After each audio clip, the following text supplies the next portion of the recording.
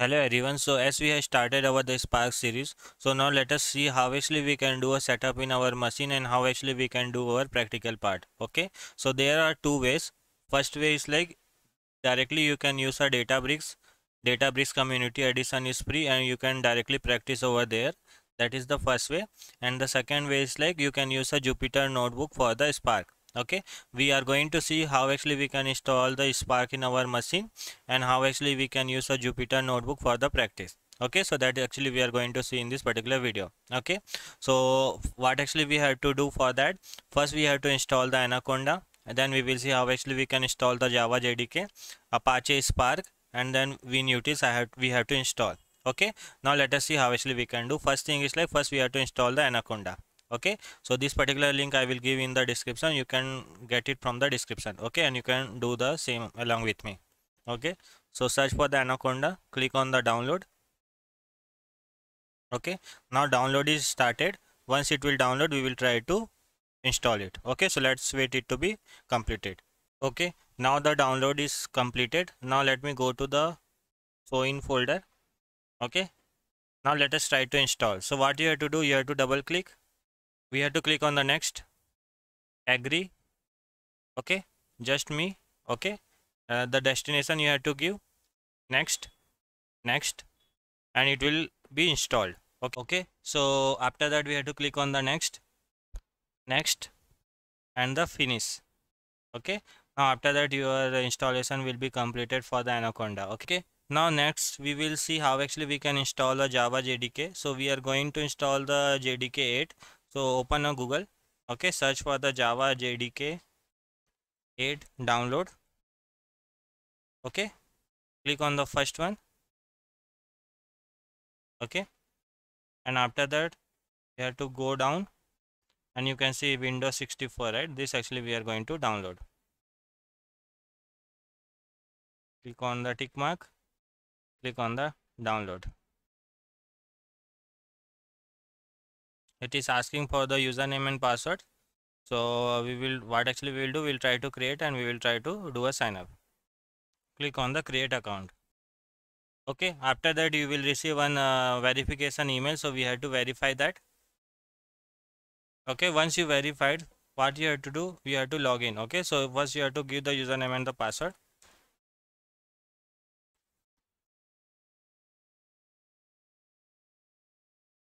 okay let me give the username and the password. And you have to do a sign up after that the your download will start okay? Java jdk we have downloaded we are going to install. Okay click on the next. And it is going to install in under the program files java okay? Click on the next. Click on the okay click on the next and it is installing the java. Okay it is installed successfully. Now after java jdk we will install the apache sparks. Okay so what you have to do you have to go into the google search for the apache spark download. Okay click on the first link. And you can see you have a download spark 3.5.0 right? So click on that so we have to click on the we have to click on this. And download is started. You can see download is started. Once it will complete we will try to install that also. Okay spark is now downloaded. So what we have to do? We have to click here. Okay and we have to open with WinRAR. And we have to first extract it. Okay so what actually we are going to do? We are going to extract it. So let me extract this. Uh, as of now we are extracting into the uh, local C okay and here only we are extracting it.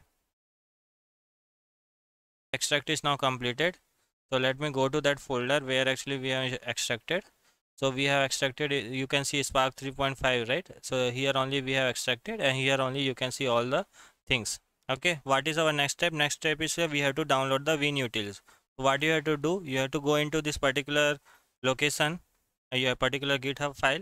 Okay let me open that. And we have to download the winutils so that you can use in a windows also. Okay so what actually we are going to use that? We are going to use a hadoop 3.51 okay click here. And you can see we have a winutil.exe right? Click here. And click on the download. Once it will download right? What you have to do? Go to the download. Okay this is the winutil size copy this. And you have to paste into the the spark location right? In the spark location go to the bin. And here only you have to paste that okay so that your winutils will be available here. Okay after winutils we have to do a environmental setup. Okay we have to specify the path. So go to the search search for the environmental. You can see we have added the system environmental variable right? Click on that. Click on the environment variable. And here only we have to provide the path. So click on the new. First we will write the spark home. Okay where actually your spark is that particular location you have to provide. So you can see in a c folder we have given the spark location right? So this is the particular location you have to provide. Okay? Click on the ok. Again click on the new. We will write hadoop home. Okay? The same location we will provide. Okay? Okay now we have to add one more. That is for the java home. Okay the java particular location we have to provide. So where actually we have installed? We have installed into the uh, java right program files. So go to the program files. You can see java. Okay this is the jdk location and he, this is the location you have to provide here. Okay so provide this. Click on the ok okay after okay after that we will add the system variable. So click on the system variable new. Okay and here we will give just a name as a spark home or something. Okay and the value we have to provide. Okay so what actually we have to give? Go to the spark where actually you have downloaded the spark. Okay in a c only we will see like we will we have installed the spark right? So go to the spark and the particular bin location right? Where we have installed the win, winutils okay select the path where you have a winutils give the variable value and click on the ok.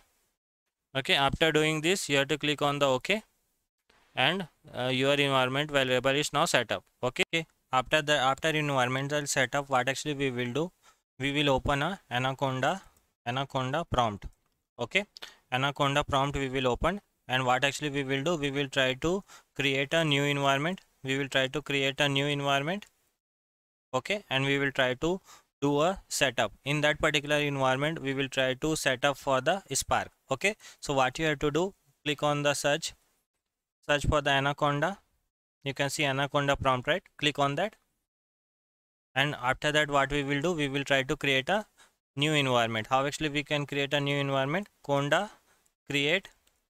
After that name. And you have to give the what is the new environment name so i will give the PySpark. We are learning a PySpark right? So this is the name i am giving. Okay? So this will create a new environment. Only the PySpark related uh, package only we will install in this particular environment. Okay? It will asking yes so i will click on the yes. Okay? Now we are in a base base environment. Now we want to switch into this new environment. So what you have to write? Conda activate PySpark. Okay now you can say this base got changed into the PySpark okay? So this is the two thing we have to do. And after that what we will do? We will try to install a we will try to install this findspark. Okay? Findspark will help to work in the jupyter notebook. Okay? Conda install and this is the one we have to execute. Okay? After that the package will install and then only we will be able to work in the uh, jupyter notebook. So let us wait it to be installed okay? This all the command i will give it to you also so that you can also focus okay? And you can also install in your machine. Yes okay? You can see this all the installation is uh, completing now. Okay now it is installed successfully. What actually we will do? We will install the jupyter also. So what okay let me try pip install Jupyter notebook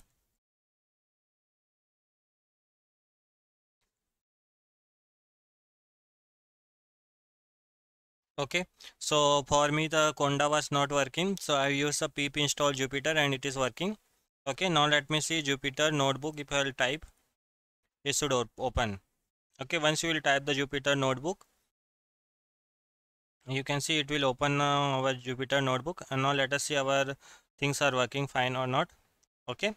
So how you can check whether the spark is working fine or not? Okay. So let me write import PySpark first okay. So what you have to do click on the new click on the new notebook. This is the Jupyter notebook okay? First you will open this will look like this. Click on the new and click on the notebook okay? Once you will click that this will come like this. Python 3 kernel so we will select that okay? And after that if i write import pyspark okay? And if i'll try to run okay here okay? It will give me error okay and we also installed this uh, findspark right? So let me write that. Okay? So now if i will write import findspark okay? And uh, after that if i will initialize and if i will write the import pyspark it should work. Okay? Now you can see it is working. Means after that now we can write any kind of the PySpark and we can execute. Okay? So whatever the installation we have done right? So that is a one time activity. Okay after that what actually we have to do? Okay next time what you will do? What we will do? You only have to open anaconda prompt. Okay? And after that what you have to write? You have to change the environment. We have to use conda activate PySpark. Okay? Okay? And after that you have to write the Jupyter notebook. Okay?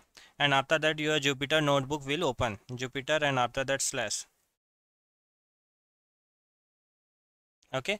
After that your Jupyter notebook will open and on that only we will try to uh, do a practice. Okay? So that is how actually we will do a practice. So before starting the lab if you haven't installed please do install please do follow. All the step i will try to give you in the description you can follow from there also. Okay? That's it in this video. Thank you